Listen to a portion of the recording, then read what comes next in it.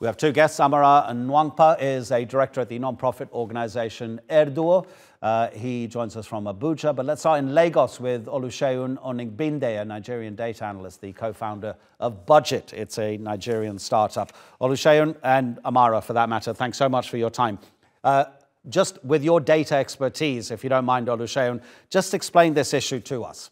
So if we start at the beginning, there were more than 100 million people in Nigeria eligible to vote.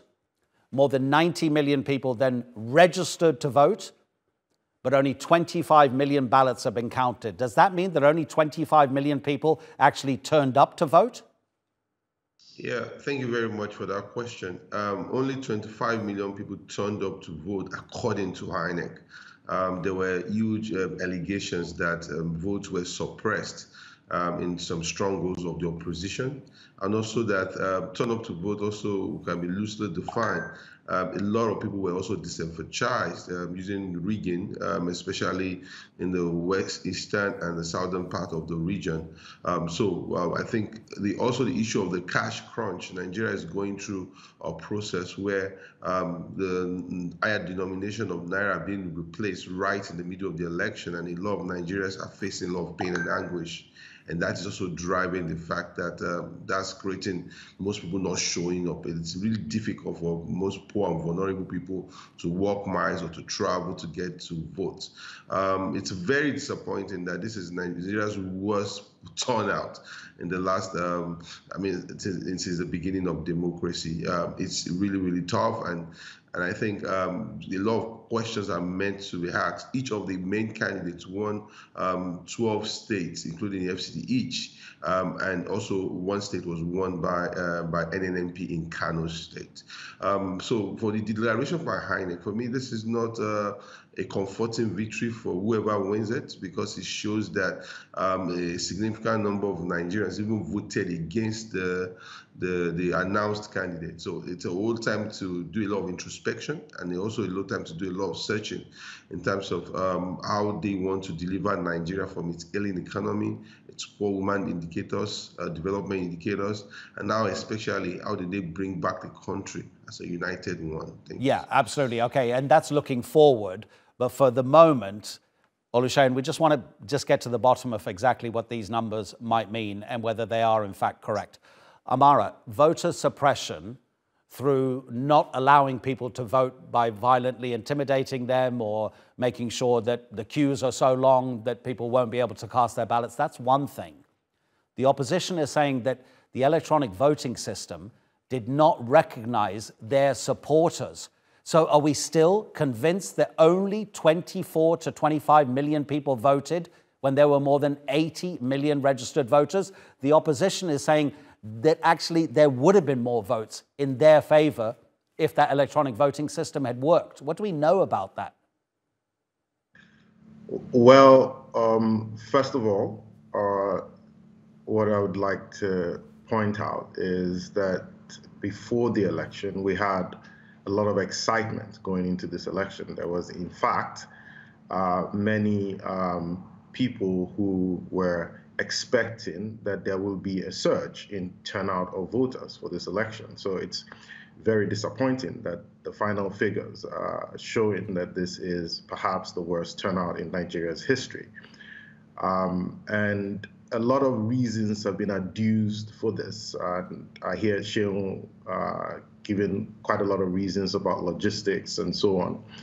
Uh, but there has been evidence, uh, including by election observers across the country and also on social media with videos about attempts across the country to intimidate voters. Many uh, locations across the country where elections did not actually hold, but results were declared.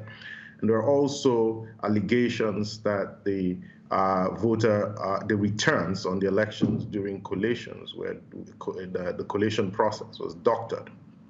Um, and so that this figure, I think, is heavily contested across the country in terms of, uh, you know, uh, it reflecting the actual um, intention of people to vote on on Saturday. Uh, but uh, to the specific question about technology, there were the technology that INEC had you know, uh, promoted and highlighted across, uh, you know, before the election across the country. Uh, and advertised as a, a, way to check uh, manipulation and to improve voter experience, you know, during the election, failed significantly.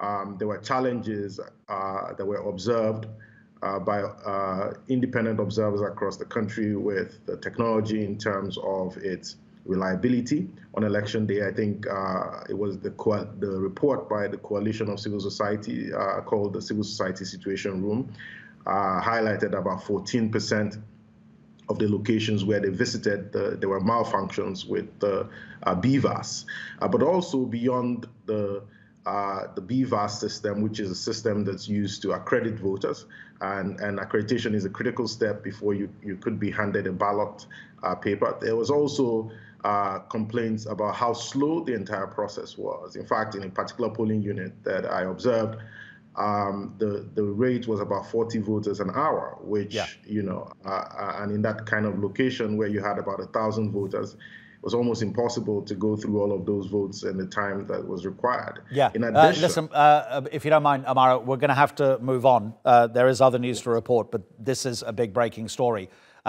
I'm really glad you pointed out the difficulties uh, with uh, the issues at the polling stations because it's worth pointing out that some people will have been allowed to vote, but their result may not have been uploaded into the final tally, which is what the opposition was saying. And it's a completely different matter if actually you weren't able to vote even though you were registered. So that's a slight distinction.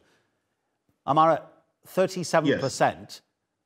Out of the lowest turnout probably in Nigeria's history. What does that do to the legitimacy of Bola Tinubu, the new president?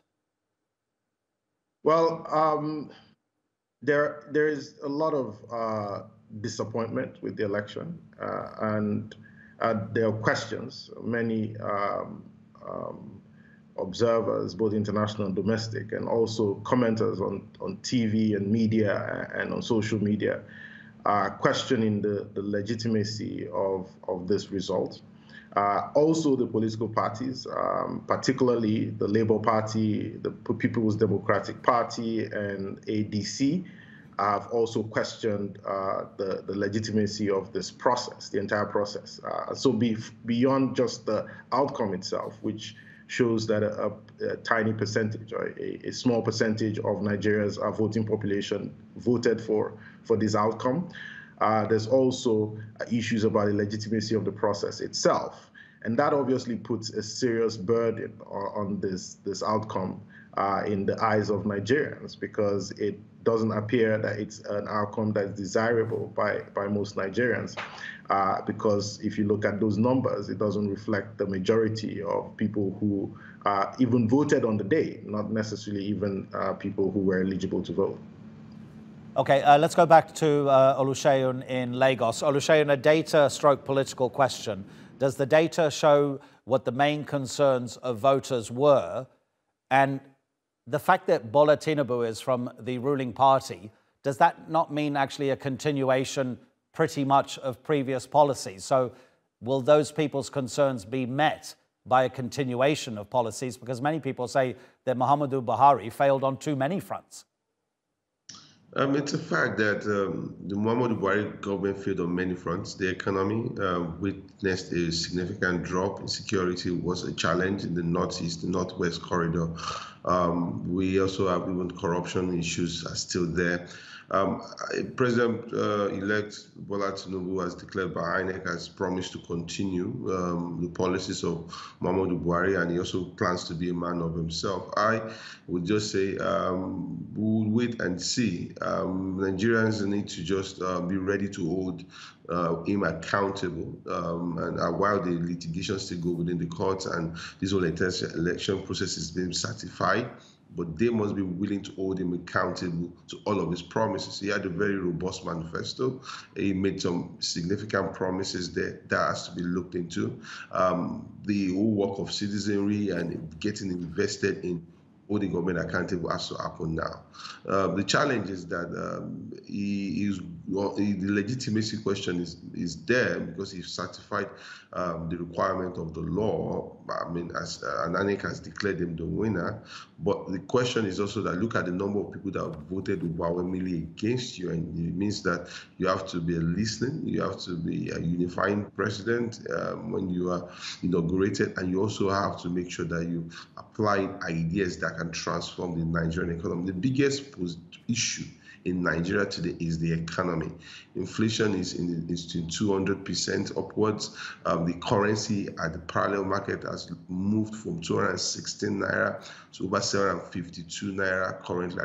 Currently, you have insecurity now in pockets of Katsina, Zamfara, Kaduna, you know, um, and also even Niger different places across the country, even in the southeast and the south south. So he has a lot of work to do, and that's why people had, you know, a lot of people had misgivings or maybe worried about does he have the capacity, I mean, in terms of health, in terms of, you know, to be able to deliver this. But he has to prove Nigerians wrong. The burden now is on him, and also another burden on Nigeria to occupy the civic space and hold him accountable yeah. in a rigorous Absolutely. manner.